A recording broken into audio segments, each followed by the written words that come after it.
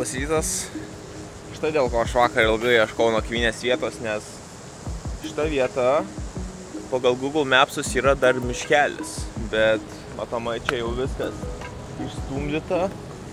Ir tenais toliau vyksta lygiai tas pats, tai aš kiek supratau, tai čionais yra žuvų veisykla. Ir šitie malonėliai, kurie suka vandenį, jie tiesiog cirkuliuoja vandenį ir tuo pačiu oro paduoda. Nes ėjo vyrukai aplinkui ir mėtė, mėtė tokį kombikormą. Tai aš įsivaizduoju, kad čia veisykla. Nu, mano tokia mintis. Kažkas panašaus kaip Norvegijoje, tik Norvegijoje viskas moderniau.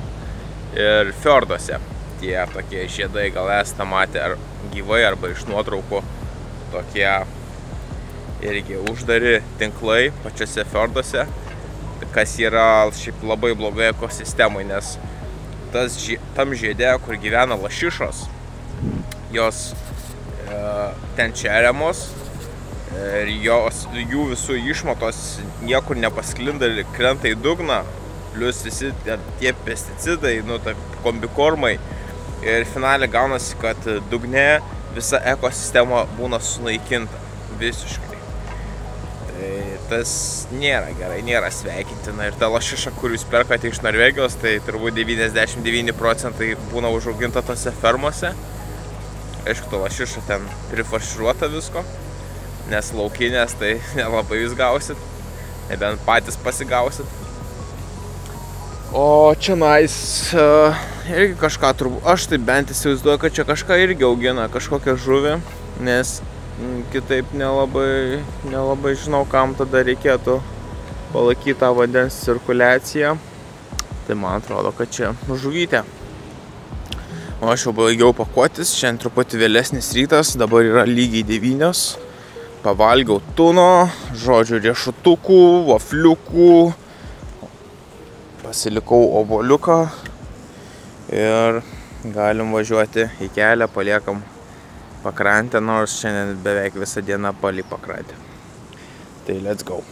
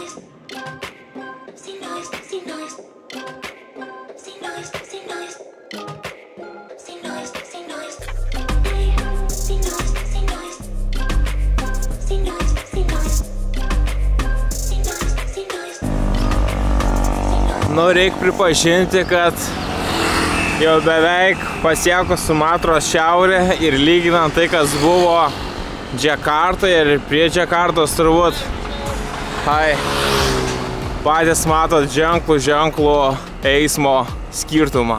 Ta prasme, jau čia tikrai nedaug tų mašinėlių ir motorolerių. Jau kažkas panašiaus į Europos kelius, vietinius kelius susisiekimo, nes kas buvo Džakarta, tai kosmosas. Na, aišku, nėra ko norėt. Plius 10 milijonų gyventojų, tai pff, kosmosėlis. O čia jau gali kartais ir visai tyloj paminti. Kartais. Kiek laipsnių turim? 30. 34 ant saulutės. Normaliai. Nors keliauju į karščiausią Indonezijos miestą Čechą, kuris yra už grubiai pusantro šimto kilometrų. Bet kažkaip man nei dienos, nei naktis nešiltėjo, atvirkščiai šaltėja. Šią naktį gal 22 tik buvo ar vienas, tai jau Reikėjo mėgmaišių užsikloti, kažkas keisto. Arba aš tiesiog labai jau pripratau prie temperatūros, ko aš norėčiau tikrai. Kaip norisi kairę koją labiau išsimasažuoti, nes biški blauzda taip tempia, o dešinė visiškai ok viskas. Nu nieko, va, Čechę pasimsiu laisvadieniu. Gal net ir pasieškosiu kokį masažą. Kad biški tas kojas atkočiotų. Reiks prastemt gerai kojytės, virvutę špagatą. Nu jau špagato virvutės neįsėdu, bet vis tiek. Duot jiems polsio. Judu link pus, 2,5 tūkstančio kilometrų.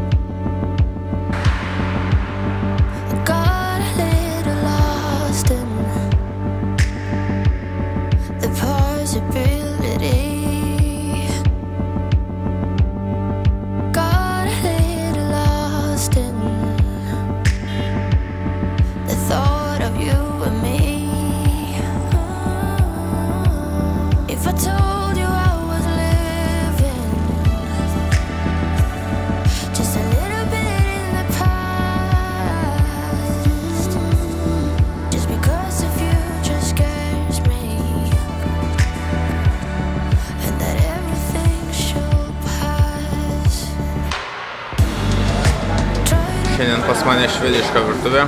Atėjau su Paunasi Guren. Sako, ne, ne. Čia, na, jis sako, ateini, įsidedi ko nori. Ir viskas. Ir už tą susimoki. Tai... Sako, va, čia nais ryžiai. Pasisem kiek nori. Ir tada patiekalai. Visko čia yra. Vištienos, mėsytės, žuvies. Tai pasiėmiau vištos porą gabaliukų iš čia. Čia kažkokiu porą pasiėmiau gabaliukų. Ir porą salotų. Žodžiu. Tikiuosi čia šiandien dienos kepta viskas. Ir aštrių padažiukų, bet paklausiu visko, sakė, niekas šiandien aštru, ką išsirinkau, tai viskas kaip ir ok. Tai pavalgysim.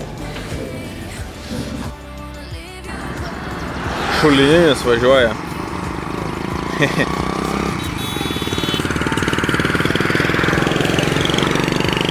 Jie čia su tais motoroleriais drąsiai namą pasistatytų.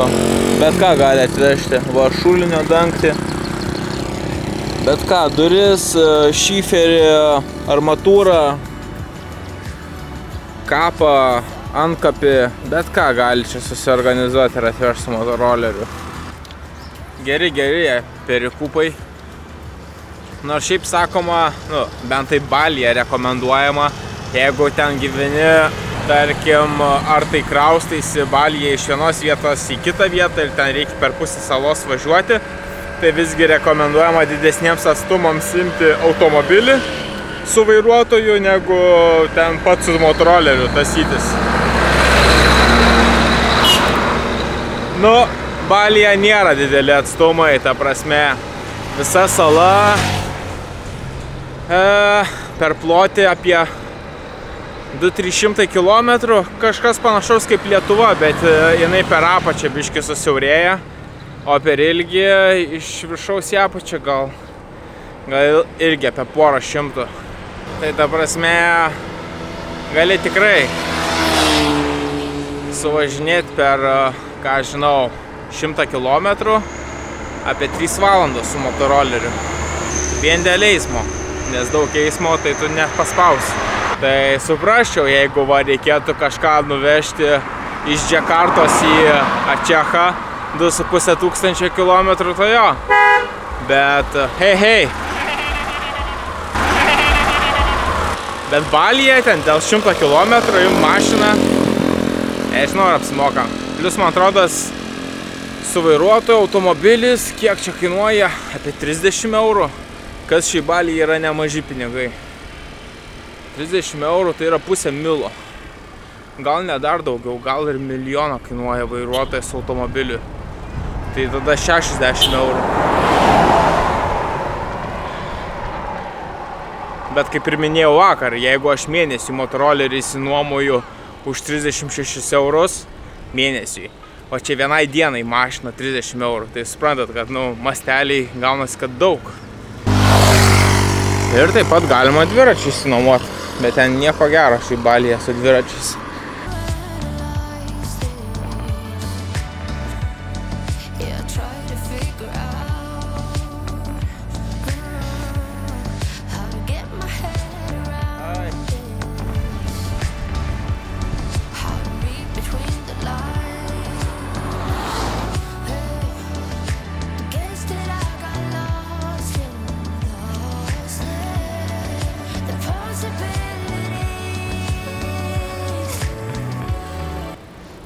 Yra, yra tikrai tokių gražių vietų, kur būtų galima pernakvoti. Bangos tolumoje lūšta gražios. Ir čia toksai ežeriukas, kurios vietos prieinamos. Bet aš tarp Jamaškai tik 87 km turiu. Tai turėčiau 97, nu tai tada pagalvočiau apie stojimą, bet noriu biški papušinti šiandien. Jeigu šiandien padaryčiau apie 113, tada rytoj liktų šimtukas. Nu, tai kažką, kažką apie 110 čia norėčiau. Plius debesuota, reikia išnaudoti tą nekarštą orą. Jau. O ryšio čia nėra visiškai, tai irgi ne piragai.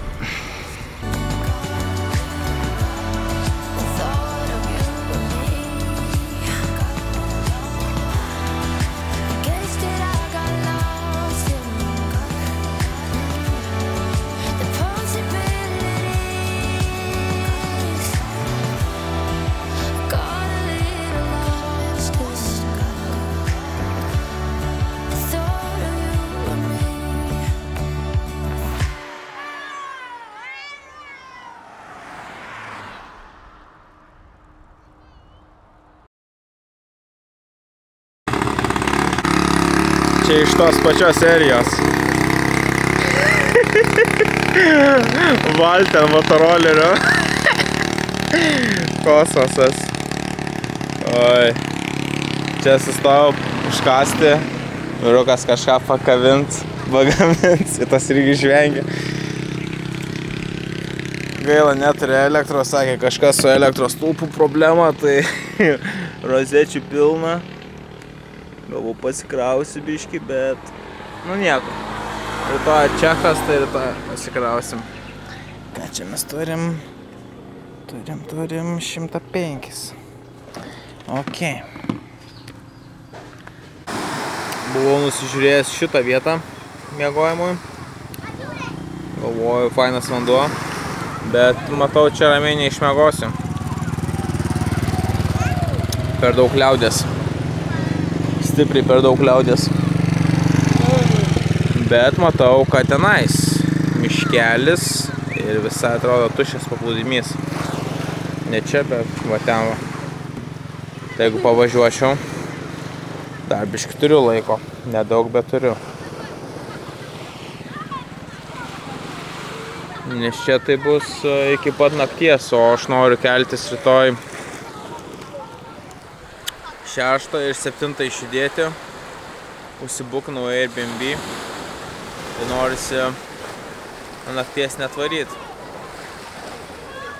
Jo, tai taip ir darom, bandom.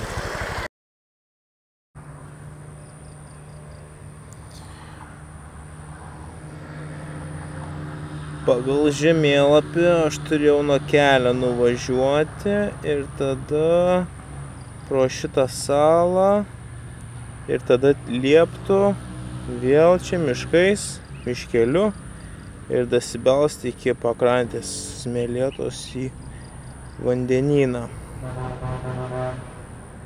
Jo. Prie Rajo salos esu. Bedėja. Pirmą dalį pravažiavau šiaip labai gan stati ir tokia akmeninga, tai nemanau, kad čia kažkas labai turėtų važiuoti. Plius gerai apaugę krūmais nuo, nuo kelio, tai vienintelis, kas mane mato, tai va tas namas su gyventojais, bet atrodo nelabai šiems įdomus. Ir aš pravažiavau, važiavau, čia radau tokią stoginę, visai nieko, tvarkinga. Ir bum, tilto nėra. Kažkada buvo. Kažkada buvo. Dabar liekanos tik tais. Jo, tai dabar toksai kaip ir įkalintas, čia aplink mane toksai mūtnas vanduo ne kažką. Aplinkui kalnai. Vaizdas kaip ir nieko. Tai ką žinau, manau, kad stoju čia. Palapinį iššausiu po stogeliu. Tai jeigu lis, tai nesušlaps. Rytoj ryte turėsiu sausą palapinę. Ir viskas, ir nesuku galvos. Čia nais netokia populiari vieta. Kaip pavyzdžiui, kokioj Suomijoje, tai vaikai nuo 7 metų turbūt jau važinėja pirmą klasę su dviračiais į mokyklą. O čia nais nuo 7 metų su motoroleriais vaikai laksto. Tai jiems čia visur čiu, čiu, čiu, čiu, čiu, pro tave nardo su tais dar patys vos išsėdė ant to motorolerio, bet jau gazuoja. Tai čia jiems aš lengvas grobis. Bet čia nelabai panašu, kad jiems įdomi vieta. Tai aišku, juk ne vandenynas, ne žydras vandenėlis, kur galima pasipliškento kažkoks molingas vanduo. Bet man nesvarbu, aš turiu vandens, tai su savo vandeniu apsiprausiu. Ir praleisim naktį čia. Tai šiandien 106,9 km, rytoj tiek pat laukia iki Ačecho. Indonezijai negalima skubėti, nes jeigu tik skubi, prasme, tą, tą, tą pradedi daryti, per daug judesių, per daug prakaituot pradedi. Tai va, tai ramiai atvažiavai, fu, kelios minutės, polsio, pulsas nurimsta, kūnas nurimsta, prakaitas nemuša, tada vėl kažkokį darbelį pasidarai, nusipakuoji daiktus, susirenki, vėl po ratuką praeini, vėl biški numuši karščio. Jeigu viską čia taip darytum, kai mes pripratę daryti, tai čia visą laiką šlapės. Nors ir taip šlapės, bet nereikia čia labai skubėti. Kaip tik bus mano palapiniai.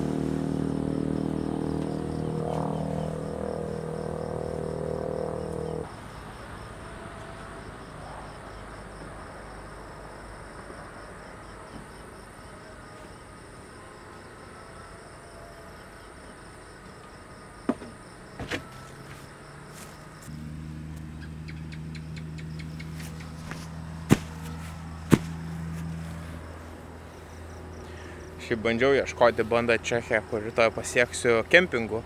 Bet pas juos kempingo suvokimas yra truputį kitoks. Ten ką radau camping ground, kur ta prasme tiesiog erdvė kažkokia, kur gali pasistatyti palapinę. Nieko ten daugiau nėra. Nekalbu apie ten virtuvės, dušus. Ne, ne, ne. Kažkur tipo buvo kaip kemping, bet realiai tas pats, kas tarkim kažkokio vanamo kieme. Plotas yra ir fotkė tenais gal kokios aštuonios palapinės viena šalia kitos prifarširuota. Kempingas, vos ne ant betonkės. Ties tokiais kempingais pas juos. Net Namibijoje ir tai buvo geresnis suvokimas apie kempingą, kad yra kažkokios zonos, kažkas kažkam priklauso, ta zona gauna savo tualetą, kažkur nusipraust, rūbus išsiplauti, dušą ir panašiai. Čia tokio dalyko nelabai, nelabai. Aišku, būtų ne miestas, tai šiaip tiesiog kažkur laisvadienį pasidaryčiau ir viskas. Bet kai noriu mieste ir noriu aplankyti ir patirinėti, tai taip kažkur numest palapinę su daiktais ir paskui lakstyti po miestą, kai daiktai guli. Nelabai norisi. Tai kažkokį užsibukinau Airbnb, naktis 14 eurų. Tai žodžiu, ne pats brangiausias, atsiliepimai geri, tai bus ok. Nu, bičiuliai, žinokit, kaip vakaras, taip vodinas. Tai vėl teks grei- greitųjų maudytis, nusišluostis ir lysti vidų palapinės. Nes, aišku, galėčiau nusimaudyti, nu, tarsi, po buteliu. Tada išsipurkš save bensu. Nu ir tada kaip ir galėčiau laukia sėdėti. Bet, ai, vėl išsipurški tas bensas toks irgi riebalinis yra. Ir vėl, nu, tai toksai užburtas ratas. Plius čia tiek tų odų, tai tiek to pasaugosiu bensą. Kokia ypatingai progai. Aišku, kelis kartus naudojau, bet tai va, jums gerai ten žiemužiai, jokių odų, nieko to ir pas jūs ateis. Čia pas mane tai kasdienybė. Aišku, vakarais, ryte jau viskas dinksta, dieną irgi nėra, o vakare jau prasideda.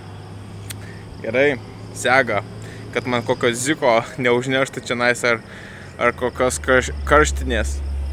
Žodžiu, iki rytojus. Čiau.